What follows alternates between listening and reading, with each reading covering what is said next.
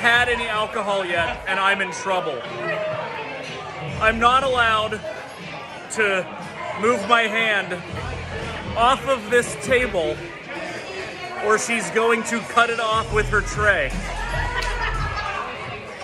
I'm thoroughly concerned for my well being. But where's my drink?